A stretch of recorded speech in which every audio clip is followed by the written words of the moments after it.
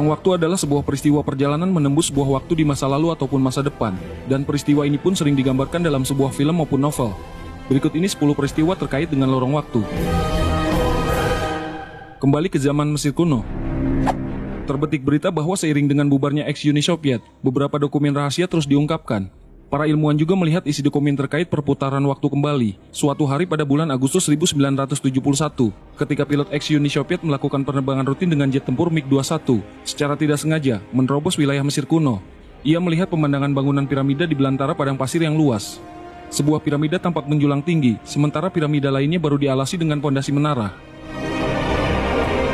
Gerbang waktu di langit Antartika pada 27 Januari 1995 lalu, fisikawan Amerika melihat asap abu-abu yang terus bergerak di atas langit Antartika. Awalnya mereka mengira itu hanyalah fenomena cuaca biasa.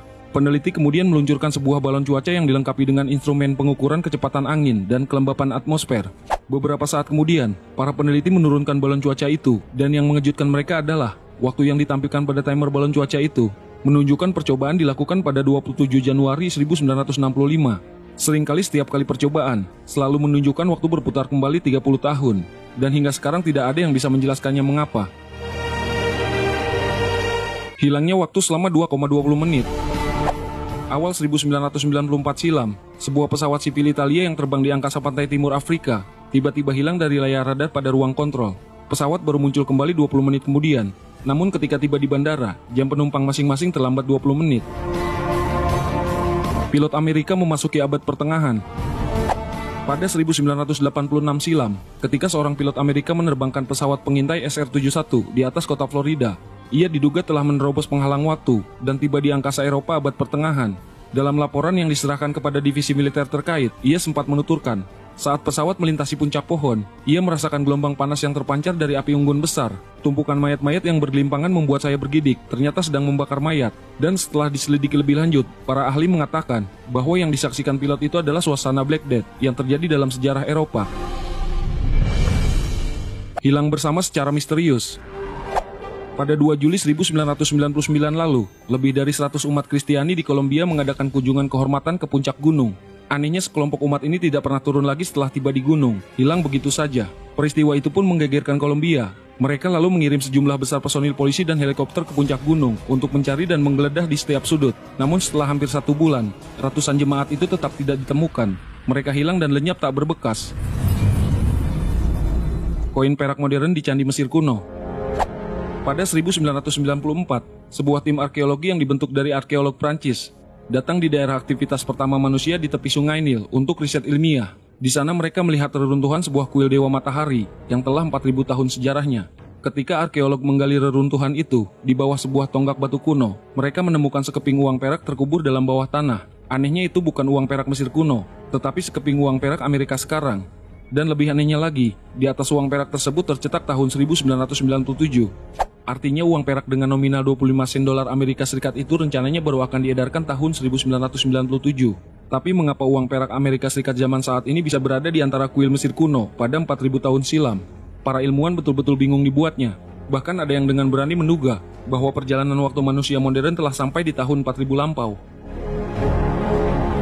Hilangnya tentara Inggris pada Desember 1915 silam, semasa perang dalam pertempuran antara pasukan Inggris dan Turki, pasukan Inggris bersiap menyerang fasilitas militer Turki di semenanjung Gallipoli. Satu persatu bala pasukan Inggris mendaki gunung dan mengibarkan bendera sambil bersorak saat mencapai puncak gunung. Namun tiba-tiba, seberkas kabut dari angkasa menyelubungi puncak gunung sepanjang lebih dari 100 meter. Di bawah pancaran sinar mentari merah muda dan menyilaukan mata, para komandan yang melihat dengan teropong dari bawah kaki gunung itu terperangah melihat pemandangan tersebut. Beberapa saat kemudian, setelah kabut membumbung ke atas langit dan berarak ke arah utara, para komandan baru terkejut mendapati bala tentara Inggris di atas gunung itu semuanya telah lenyap. Ukiran helikopter dan kapal selam di makam Mesir kuno. Pada tahun 1848 lampau, seorang penjelajah arkeologi menemukan sejumlah gambar aneh di pintu masuk kuil Abydos Mesir kuno. Kala itu tidak ada yang tahu apa yang digambarkan dari ukiran tersebut. Sampai 150 tahun kemudian, Secara mengejutkan, arkeolog baru mendapati kalau gambar-gambar Mesir kuno 3000 tahun lampau itu ternyata adalah model helikopter dan kapal selam. Percobaan Philadelphia Oktober 1943 silam, Angkatan Laut Amerika Serikat di Philadelphia melakukan tes rahasia berupa medan magnet buatan yang kuat. tidak tahu apa yang telah terjadi dengan Philadelphia eksperimen karena membuat sebuah kapal perang hilang di depan mata orang-orang dan baru muncul kembali beberapa menit kemudian. Tapi para awak kapal tidak bisa mengingat lagi apa yang baru saja terjadi. Belakangan banyak kru yang tewas secara misterius. Pulau misterius yang melenyapkan manusia.